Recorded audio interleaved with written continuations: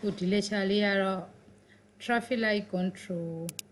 အတွက်ကို PIC program နဲ့ဘယ်လိုရေးသလဲဆိုတာလေးကိုစဉ်းစားတဲ့ဟာလေးပြောပါမယ်အဲ့တော့ traffic light လို့ပြောလိုက်တဲ့အချိန်မှာဘာကိုမြင်လိုက်လဲဆိုတော့နော်လမ်းလေးစုံလေးกว่าပါအဲ့ဒီမှာနော်ဥမာဖြင့်ဒါတောင်မြောက်လမ်းဒါအရှေ့နောက်လမ်းအဲ့ဒီခါမှာဒီနီဟိုကအစိမ့်ဆိုပြီးတဲ့အခါမှာဒီတောင်မြောက်လမ်းကနေမြင်ရတဲ့ဟာရဲ့ အရှိနောက်လမ်းနေမြင်ရတဲ့ဟာရဲ့မီးလုံး6လုံးအနည်းဆုံးပါပါမယ်အဲဒါနဲ့မျက်နှာချင်းဆိုင်နေမှာပါအောင်မယ်ဆိုရင်တော့အဲ့ power တွေကိုပဲအဲ့ signal တွေကိုပဲခွဲယူမှာဖြစ်တဲ့အတွက်ဒီ6စုံကလုံလောက်ပါတယ်အဲ့တော့အဲ့6စုံကိုเนาะ6လုံးကိုဘယ်သူကနေထိမလဲဆိုတော့ PIC 16F87 87ကပဲထိမှာမယ်အဲဆက်ရှိကနေဆက်ပြီးသင်လာတဲ့အတိုင်းပဲ port C မှာမီးလုံး6လုံးတက်ရအောင် အဲ့တော့ table လေးမှာကြည့်လိုက်လို့ရှိရင်ဒါ traffic light ရဲ့ table လေးပါ control signal table လေးပါအဲ့တော့ဘယ်မှာတက်ကြမလဲနော် R2 Y2 G2 ဒါ face တစ်ခုရဲ့မီးလုံးတွေပါနော် red 2 yellow 2 green 2အဒီဘက်တစ်ချမ်းကဟာကိုကြတော့ red 1 yellow 1 green 1ဆိုပြီးတော့ဒီမီးလုံး6လုံးရဲ့ဟိုစင်မဲ့နေရာလေးကိုအပေါ်မှာပြထားတယ်အဲ green 1ကို RC0 ပင်မှာချိန်မယ် yellow 1ကို RC1 မှာချိန်မယ် အဲ R2 ကို red red 1ကို RC2 မှာချိန်မယ်စသည်အဖြစ်သွားတယ်အဲလိုအပ်တာစုစုပေါင်း6ပင်မှာ6လုံးမှာဒါပေမဲ့ port C ဟာရှေ့က RC6 နဲ့ RC7 ဆိုတာရှိသေးတယ်အဲ့နှစ်ပင်က3မ3တဲ့အတွက်ဒုံကဲထားလဲရတယ်00ပေးထားလဲရတယ်အော်ဒီ table လေးကိုကြည့်လိုက်တဲ့အခါမှာ sequence ၄မျိုးဖြစ်နိုင်ပါတယ်1 2 3 4ပထမဆုံး sequence ကဘသူကိုစိမ့်ပေးပြီးတော့ဘသူကိုหนีမလဲပေါ့ ဟိုဒီမှာဆိုလို့ရှိရင် red 2ကိုเนาะหนีထားပေးပါတယ်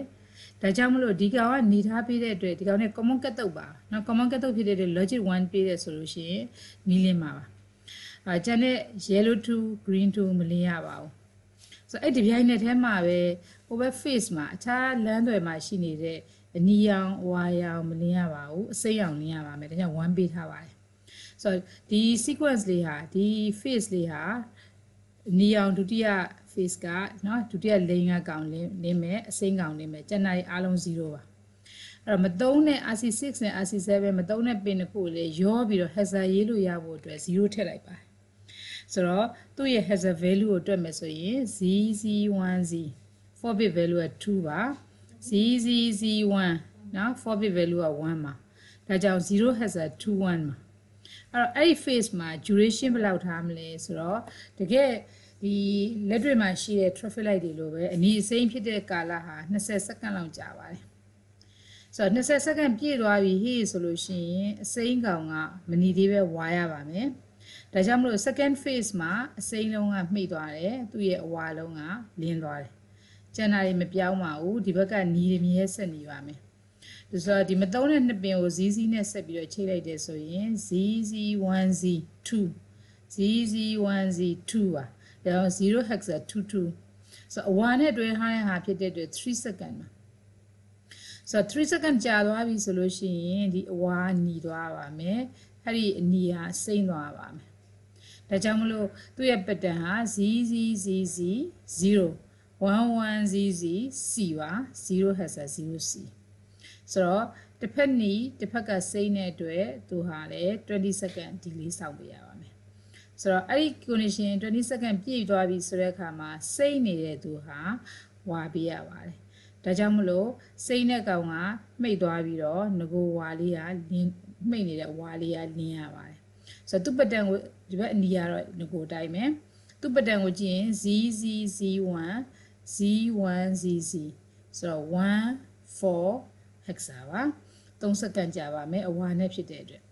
ဒီကပြီးသွားခဲ့လို့ရှိရင်ဘယ်သူနေသွားမလဲဆိုတော့အဝါကောင်ကနေရတော့မှဖြစ်တဲ့အတွက်ဟိုးအပေါ်ဆုံး face ကိုပြန်သွားပါတယ်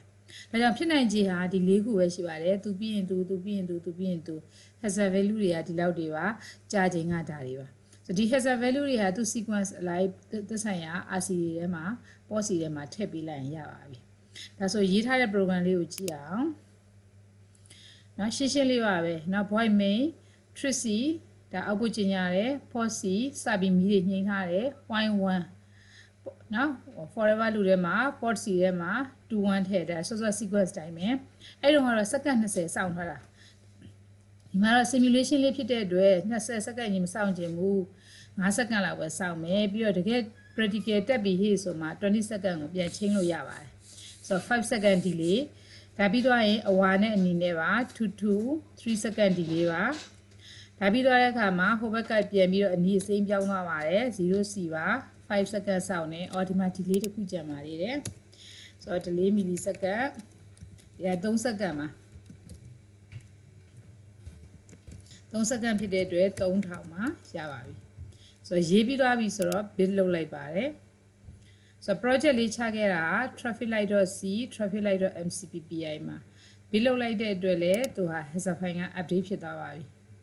ဖြစ်သွားပြီဆိုတာနဲ့ကို program မှန်လားဆိုတာလေးကို Proteus မှာစမ်းကြမယ် Proteus ဖွင့်လိုက်ပါတယ်ဆိုတော့ကြိုပြီးဆွဲထားလို့ပါ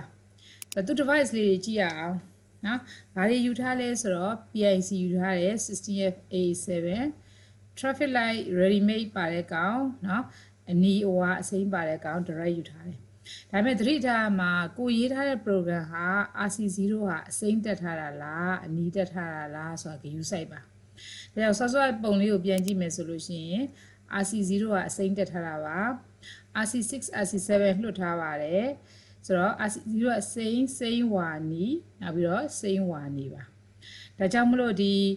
ဒီ Proteus မှာ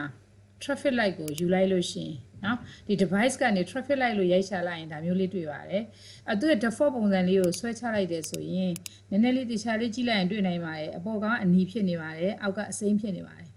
အဲ့ကောင် direct ချိတ်လို့မရပါဘူး။ဘာကြောင့်လဲဆိုတော့ကို design လုပ်တော့က RC0 ဟာအစိမ့်ချိတ်ပါမယ်လို့လုပ်ထားတာ။အဲ့ဒါဆိုလို့ရှိရင်ဒီကောင်လေးကို right click ခောက်ပြီးတဲ့အခါမှာ wide mirror နဲ့ပြောင်းလိုက်ပါအထက်အောက်လန်သွားပါမယ်။လန်သွားပါပြီအပေါ်ကအစိမ့်ဖြစ်သွားပါပြီ။ အလားတူပဲအောက်တစ်ကောင်ကလည်းစိမ့်ဝါနီစိမ့်ဝါနီဖြစ်ရမှာ။သူ့ရဲ့ traffic light ကိုယူလာခဲ့လိုက်လို့ရှိရင်စိမ့်ဝါနီမဟုတ်ဘဲနဲ့နီဝါစိမ့်ဖြစ်နေတာ။နောက်သူ့ကိုလည်း right click ခောက်ပြီးတဲ့အခါမှာ wide mirror လို့ပြောလိုက်ရင်ပြောင်းသွားပါဒါဆိုအဲ့ဒါလေးကိုသက်ဆိုင်ရာပင်လေးတွေနဲ့ချိတ်လိုက်ရပြီဆိုတော့ဒါလေးကတော့ဖြတ်လိုက်မယ်နော်ရှင်းပြတာမို့လို့ okay ဒါပါဖြတ်လိုက် program ထည့်ပါတယ် program ဟာ traffic light.hexafile ရေးခဲ့တော့က 4 MHz နဲ့ရေးခဲ့ပါတယ် okay နေပါ run လို့ရပါပြီဆိုတော့ပထမဆုံးကဟိုဘက်ကကောင်ကနီးရမယ်ဒီဘက်ကကောင်ကစိမ်းရမယ်အာ9စက္ကန့်ကြာတယ်ဆိုတာဒီမှာကြည့်လို့ရပါတယ်3.84 4.5 5မှာဝါသွားပါပြီနောက်ထပ်3စက္ကန့်ဆိုတော့8စက္ကန့်ပြည့်သွားတယ်ဆိုရင်ဒီကနီးတယ်ဒါစိမ့်တယ်နောက်ထပ်3စက္ကန့်မှာဆိုရင်ဟိုက်ကောင်လေးကဝါသွားပါမယ်ဒီကောင်ကတော့အနီးတိုင်းပဲဆက်ရှိတယ်နောက်ထပ် 3 sorry နောက်ထပ်3စက္ကန့်အခုမှ3စက္ကန့်3စက္ကန့်ရှိတယ်ဆိုရင်ပြန်ပြောင်းသွားပါတယ်ဆိုတော့ဒီဟာလဲနေပါတယ်အဲ့ဒီနေရာမှာတဲ့ဒီမှာခလုတ်တစ်ခုတက်ထားတယ်နော်အရင် lecture တွေမှာတော့ကတော့ဒီ master clear ပင်ကို reset button တက်တာမပြောခဲ့ရအောင်အခုဒီမှာတော့ reset button သုံးညင်နေ reset button ဆိုတာရောက်နေရရက်ကလည်းနှိပ်ကြည့်လိုက်မယ်နော်ရောက်နေရတဲ့က default position ကိုပြန်သွားတာပါ အဲ့တော့အဲ့ဘာအဲ့ဒါဘာသဘောလဲဆိုလို့ရှိရင် master clear reset ဆိုတဲ့ကောင်ကဘာလေးပါပါတယ် MCLR ဘာနော်နည်းနည်းလေးချဲ့ကြည့်လိုက်ပါအဲ့ပင်လေးပါ MCLR ဘာနော်ဘာပါတဲ့အတွက် reset cloud တက်မယ်ဟိဆိုလို့ရှိရင်ねပုံမှန်အားဖြင့်5ကိုကျွေးထားတယ်ဘာမှတက်မထားရင်တော့သူက simulation ဖြစ်တဲ့အတွက်အလုပ်တော့လုပ်ပါတယ်ဆိုတော့ hardware ဆင်မယ်ဆိုရင်တော့ resistor 10 kilo တစ်လုံးခံပြီးတော့5ကိုကျွေးထားပေးပါ ဆိုတော့ဒီခလုတ်ကလေးက press လုပ်တဲ့အခါမှာ ground ဆွဲချတဲ့ဟာလေးပါ pull down ဆွဲချတဲ့ဟာလေးပါဆိုတော့0ဆွဲချဖို့အတွက်တက်ထားပါတယ်ခလုတ်နှိပ်မှာ0ဆွဲချပါမယ်ခလုတ်မနှိပ်လို့ရှိရင်5ဖို့ဝင်နေတာပါဆိုတော့သူဟာ0ဖြစ်တယ်ဆိုရင် master clear reset လို့ကိုလုပ်တာဖြစ်တဲ့အတွက်ဒီကောင်နှိပ်ချလိုက်တယ်ဆိုလို့ရှိရင် sequence လေးစောင့်လိုက်မယ် okay ခဏနေတော့ဒါလေးကဝါမှာဝါသွားပြီဆိုတော့နှိပ်ချလိုက်လို့ရှိရင်ငကိုငကို reset ကိုအခြေအနေကိုရောက်သွားပါတယ် ဆိုတော့အဲ့လို program reset reset ပြန်လုပ်ချင်တယ် reset လုပ်ချင်တယ်ဆိုရင်အဲ့ဒါလေးကိုသုံးပေးပါသူ့ရဲ့ program memory ရဲ့ address 0မှာရှိနေတဲ့ကုတ်ကိုတွားပြီးတော့ပြန်လုပ်လုပ်မှာပါနော်အဲ့တော့အဲ့ဒါလေးပြီးတော့ရင်တော့နော်ပြန်ပြီးတော့ save လုပ်ပေးလို့ရပါပြီဆိုတော့ဒီကောင်လေးက traffic light controller အတွက်နော်အဲမီလုံး6လုံးနဲ့စမ်းသွားတဲ့ဟာလေးပါ